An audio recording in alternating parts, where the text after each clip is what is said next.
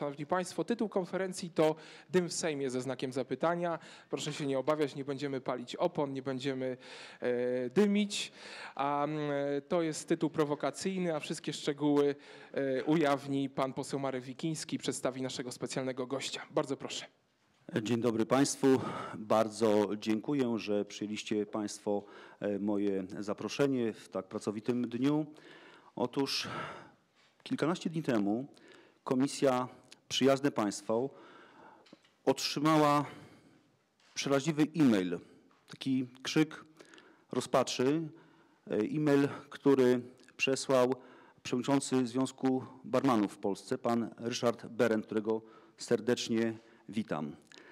W czasie, kiedy Komisja Przyjazne Państwo walczy z absurdami polskiego prawa, w tym samym czasie inni posłowie pod pretekstem ochrony zdrowia usiłują ograniczyć święte prawo własności, ograniczyć nam nasze swobody obywatelskie i usiłują nam wmówić, że jesteśmy ludźmi nieodpowiedzialnymi.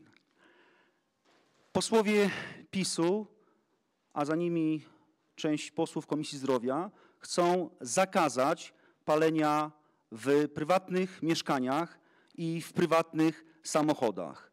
Chcą zakazać restauratorom prawa do decydowania o tym, jakiego rodzaju lokal, jakiego rodzaju restauracje chcą prowadzić.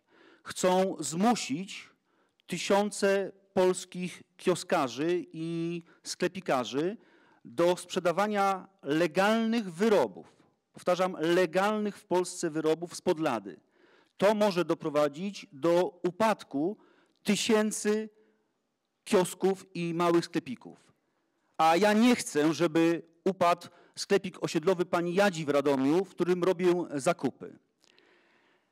Próbują autorzy projektu zmusić policjantów, aby stali się geodetami, ponieważ to policjanci mieliby za zadanie chodzić z miarką i mierzyć 10 metrów, ustawowe 10 metrów pomiędzy osobą palącą papierosy, a drzwiami od budynków e, publicznych, czy też e, szpitali, czy szkół.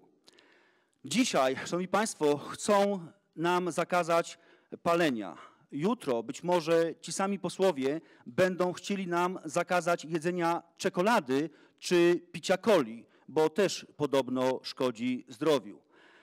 Szanowni Państwo, propozycje ustawy zmierzają w kierunku prawnego zakazania y, używania nowych wyrobów, tak zwanych i-papierosów, które zawierają nikotynę, ale jednocześnie prawo zezwala na to, aby podawać nikotynę w paskach czy w innych środkach produkowanych przez koncerny farmaceutyczne. No proszę Państwa, to jest tak absurdalne, jakby porównać do zakazu spożywania w Polsce wódki z kieliszków, wódki produkowanej przez legalne polmosy, a zezwolić na spożywanie alkoholu w czopkach.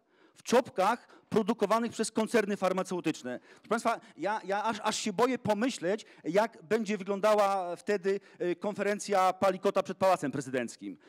Szanowni Państwo, ja mam świadomość tego, że będę atakowany. Będę atakowany przez lobby farmaceutyczne, ale mam odwagę być ambasadorem zdrowego rozsądku. Panie Ryszardzie, bardzo proszę, oddaj panu głos. Dzień dobry Państwu. Rzeczywiście przyznaję się do maila, którego wysłałem do Pana posła. Sprawa dotyczy oczywiście ustawy, która ma być nowelizacją ustawy o szkodliwości palenia tytoniu. I tak właściwie od samego początku dyskusja była skierowana na tory, żebyśmy ograniczali możliwość wdychania tytoniu przez osoby niepalące. Natomiast kilka zapisów ustawy e, proponowanej jest e, dosłownie tak absurdalna, że chciałem zaprotestować w imieniu e, dziesiątków tysięcy właścicieli małych klubów, restauracji, ludzi pracujących w tej branży. Najbardziej kontrowersyjny jest oczywiście kontrowersyjny jest zapis dotyczący 10 metrów strefy ochronnej przed lokalem. E, śmiem twierdzić, że jest to narzucenie na restauratorów obowiązku właściwie nie do końca opisanego pilnowania strefy, która w wielu przypadkach jest strefą niczyją.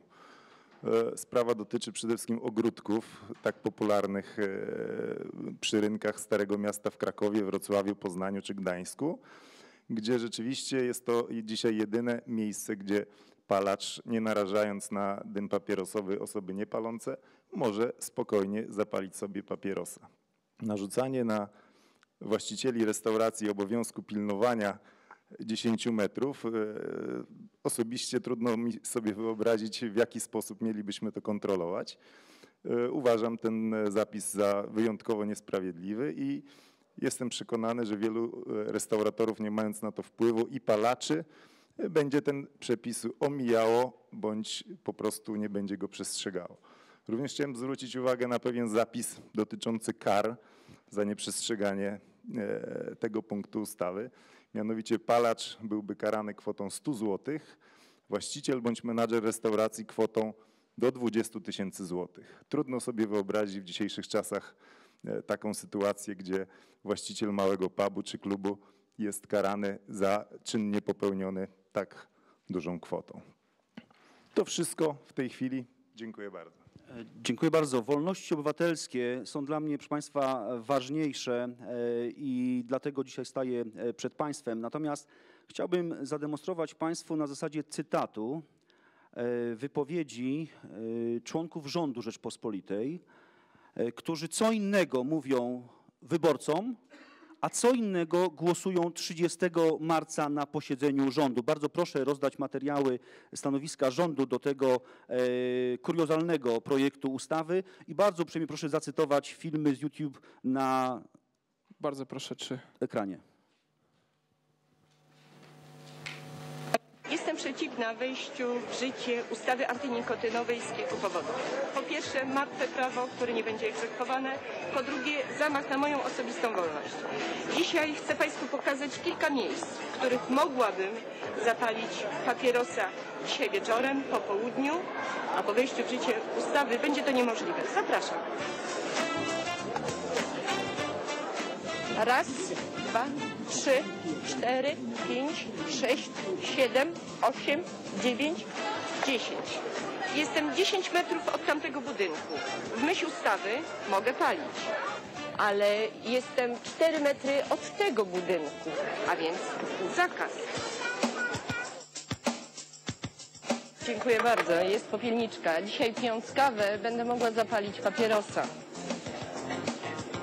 Jest mi wolno. Za chwilę, kiedy wejdzie w życie ustawa, niestety będę piła kawę i paliła papierosa tylko w hermetycznej kapsule.